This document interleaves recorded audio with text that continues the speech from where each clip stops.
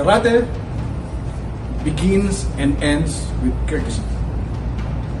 In this video, we will learn the basic courtesy in martial arts, particularly in Karate Do.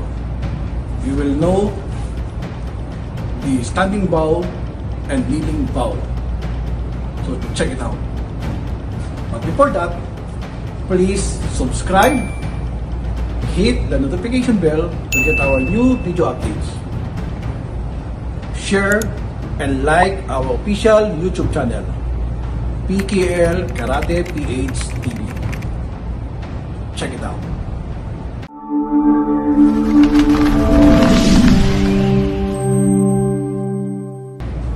Okay, in karate, there's a standing bow. And standing bow starts with this. Heels together. Both hands side. Palm facing at your leg tight. Please keep your shoulder relaxed. Keep your body straight.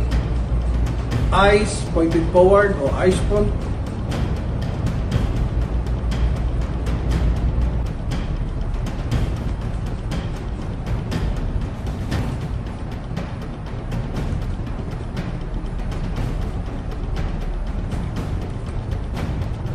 Heels together.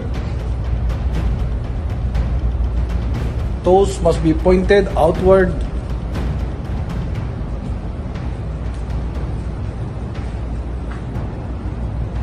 When you bow, just bend at the waist, lead level.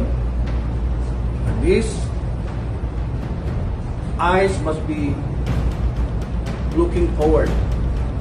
Like that bend your upper torso and pose for about 1 to 2 seconds and then come up. Right? You do side view, fingers like this, open hand, that, 1, 2, and up.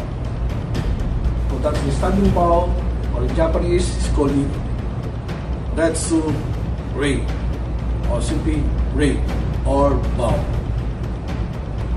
Okay, the, the second bow in, in Karate Do is called Za Rei or kneeling bow. So start with this, starting position with this one. And hands on your lap. That. Keep your body straight. Chin up. That. Is like this. Left, start with left hand.